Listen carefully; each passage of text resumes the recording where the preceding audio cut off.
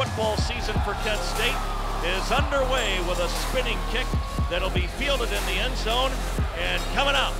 The Golden Flashes with a pretty good return over the right side stands in the shotgun formation with Benjamin behind him, and that's who's getting it.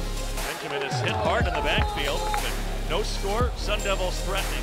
Snap play action. Here comes the blitz, and they hit him hard once, twice, and three times. Team Daniels turns, swipes it to Benjamin, going to his left. Golden Flashes terrific penetration, and Parker from inside the five with some room, far sideline, spun around, still on his feet. 40. 45 to the pitchfork in the middle of the field. Back to Williams. Spun out of a tackle. He's along the right side. Spun again toward the numbers, and he's going to get forward progress. Obviously a little winded, but taking off again, straight up the gut 30, far side 35 40. He's at the 45, and Dustin Crum and Shaw with a spin move over the 30 yard line bounces off another man. He's still on his feet with a physical run. Play action fake, got brought down, yanked down by the Golden Flashes, Theo Majet. Able to get pressure here, and Daniels is blitzed up.